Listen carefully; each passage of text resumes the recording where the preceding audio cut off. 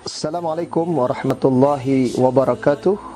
Bismillah walhamdulillah Wassalatu wassalamu ala rasulillah Wa ala alihi wa ashabihi wa mawalah. Allahumma salli ala Sayyidina Muhammad Wa ala ali Sayyidina Muhammad. Sahabat-sahabat, rekan-rekan sekalian Berjumpa lagi dengan saya Ustaz Dr. Miftah El Banjari Kali ini saya ingin mengajak sahabat-sahabat dan rekan-rekan sekalian untuk bersama-sama mempelajari, mentadaburi, menganalisa ayat-ayat suci Al-Quran Karim. Baiklah, kali ini saya ingin mengangkat satu tema tentang bagaimana kekuatan sihir-sihir Fir'aun itu bekerja dan bagaimana Al-Quran mendeskripsikan. Rekan-rekan sahabat, baiklah kita awali pembahasan kita pada surah Taha Rajim walaqad ara'ainahu ayatina kullaha fakazzaba wa aba sungguh telah kami perlihatkan mukjizat-mukjizat itu kepada Firaun. Akan tetapi Firaun tetap mendustakan mukjizat-mukjizat itu dan enggan beriman. Sebelumnya Allah Subhanahu wa taala menerangkan bagaimana terjadinya komunikasi adu argumentasi perdebatan antara Nabi Musa dan Firaun dan ketika itu Fir'aun tidak memiliki kata-kata lagi untuk membantah. Sehingga kemudian Fir'aun menyatakan bahwa apa yang disampaikan oleh Nabi Musa tidak lain melainkan sebuah propaganda. Merupakan sihir kata-kata yang bisa membuat orang terhipnotis, bisa membuat orang terpengaruh, bisa membuat satu propaganda yang bisa membuat melenakan orang lain. Sehingga di ayat selanjutnya pada ayat 57 Allah Subhanahu wa taala menjelaskan Qala ajitana litukhrijana min ardina bisihrika ya Musa Fir'aun mengatakan wahai Musa apakah kedatanganmu kehadiranmu ke Mesir ini untuk mengusir kami dari negeri kami dengan sihirmu dengan kekuatan kata-katamu. Lihatlah di sini bagaimana Firaun dengan kekuatannya. Ternyata dia mampu untuk memproduksi hoax, memproduksi kebohongan-kebohongan yang sebenarnya kebohongan itu berasal dari mereka sendiri. Inilah sejarah mengajarkan kepada kita bahwa rezim atau penguasa mampu untuk memframing berita, untuk memproduksi sebuah redaksi kata sehingga menggiring pada satu opini tertentu.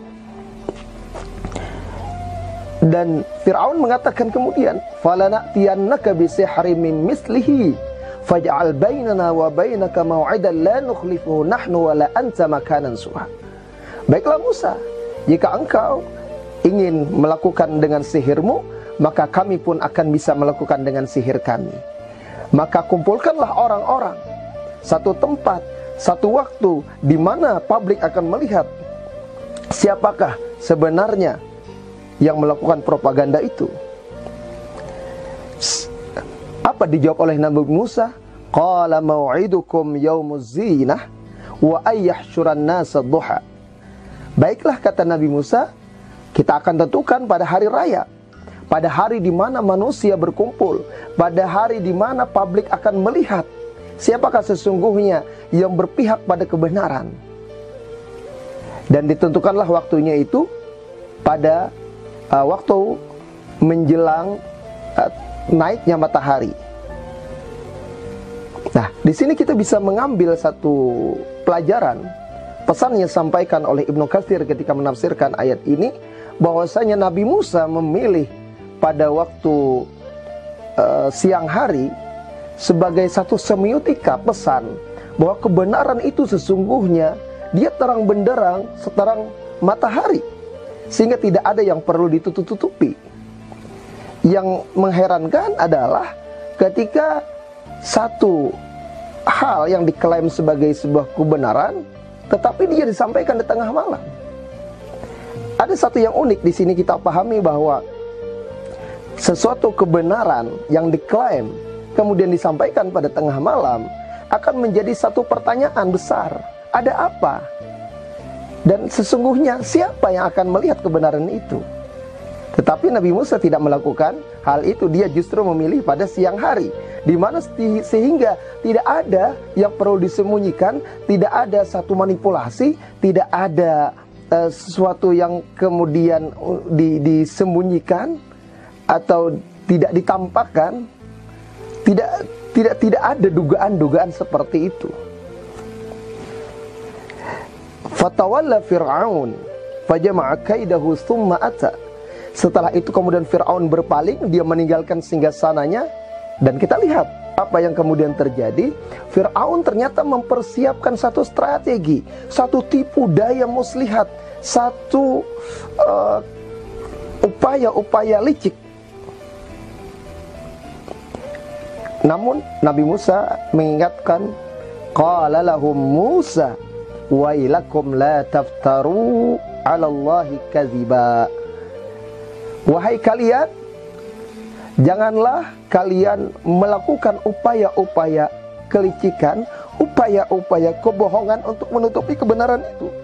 Fayushitakum bi'azab karena sungguhnya Allah telah membersihkan azab bagi kalian.